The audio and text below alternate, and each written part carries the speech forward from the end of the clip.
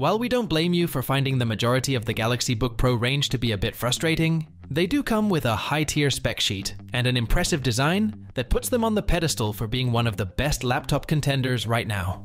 However, the MacBook Pro 16 inch M3 Max remains the most powerful laptop from Apple right now, and that's saying something.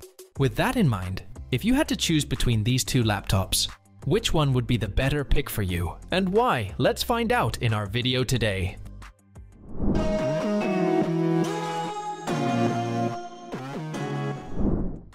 Little has changed over the years with Samsung's laptop design since the Galaxy Book 4 Pro 360 comes with a satisfying if a bit shallow keyboard and a massive trackpad, both in terms of its remarkable size and overall responsiveness.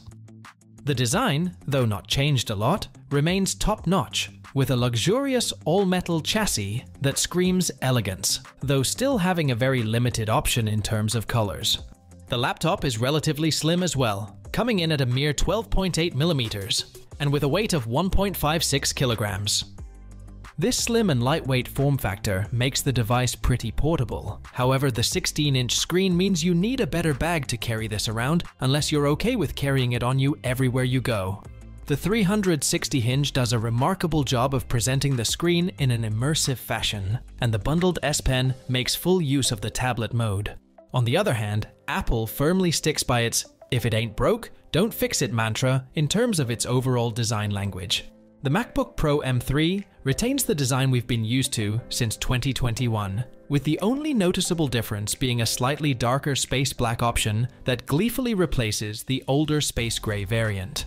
This dark matte color, in our opinion, feels a lot better than the Midnight variant, not only in terms of visual aesthetics, but it mitigates fingerprints a lot better and doesn't require constant scrubbing to keep it looking in tip-top shape.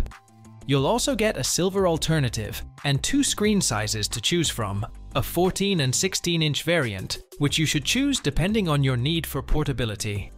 The design on both, however, is pretty boxy with rounded corners, and in classic Apple fashion, a ton of flat edges. The laptop weighs a bit heavier 2.16 kilograms for the 16 inch variant, and comes with a fairly good selection of ports, at least in Apple standard. The keyboard as usual is an absolute delight to use as usual, courtesy of well-sized keys and a full-sized function row, and the trackpad is satisfyingly responsive as well. Samsung takes full advantage of the OLED technology, ensuring the Galaxy Book 4 Pro delivers wonderfully crisp colors and a bright display through its 3K 120Hz panel. The combination of high resolution and refresh rate means browsing and general activities feel surreal, solid, and of course fluid. It's a great view when you're doing some light gaming as well, along with studying or creative tasks. Speaking of, the screen comes with 100% sRGB, 100% Adobe RGB, and 100% DCI P3. The screen also comes with a brand new anti-reflective coating, which helps to mitigate glare, and the Vision Booster feature modifies the contrast and colors to best fit your overall environment and provide the best possible view.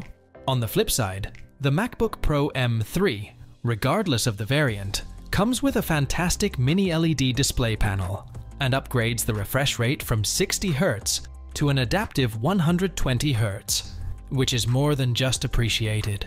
This setup allows for true HDR playback which is of utmost importance when you're creating HDR content and need to see how everything looks. It also allows for HDR playback of content on your supported devices or streaming services, and you'll get all that with around 1600 nits of brightness. The adaptive refresh rate caters to Apple's ProMotion features, making everything feel a bit more smoother all around.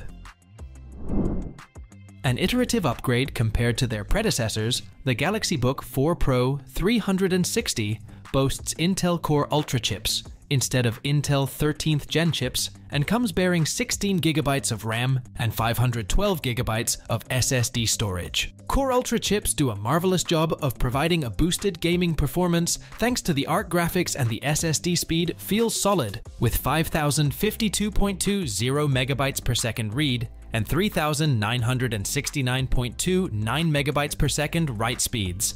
On the flip side, it's a bit complicated for the latest MacBook Pro considering a plethora of choices, but we'll stick with the M3 Max variant, which is now Apple's most powerful laptop to date.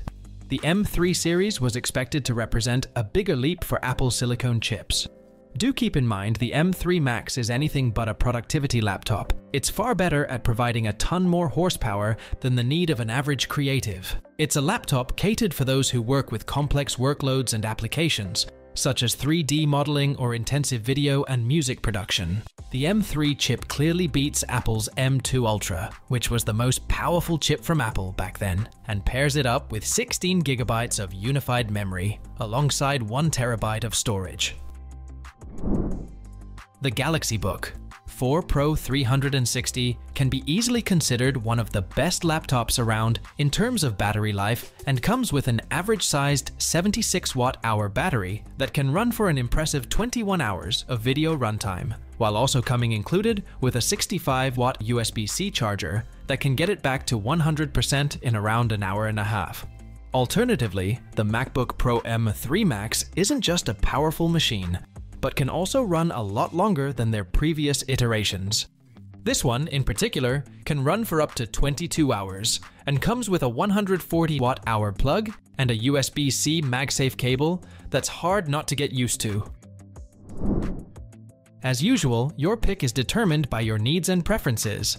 If you're a creative professional or a power user who prefers the best performances for power-intensive tasks, have a knack for Apple's ecosystem in general, and value display quality for HDR content, the MacBook Pro M3 would be the optimal choice. However, if you're on the lookout for a versatile and portable laptop with a high-quality OLED display, appreciate the functionality of a two-in-one design with stylus support, and prioritize long battery life for productivity that's on the go, the Galaxy Book 4 Pro 360 would be the better pick. Regardless, which one of these laptops would you be going with, and why? Do let us know, as we'd love to hear from you. And as for everything else, don't forget to like, share, subscribe, and hit the bell icon if you want more content like this on your feed.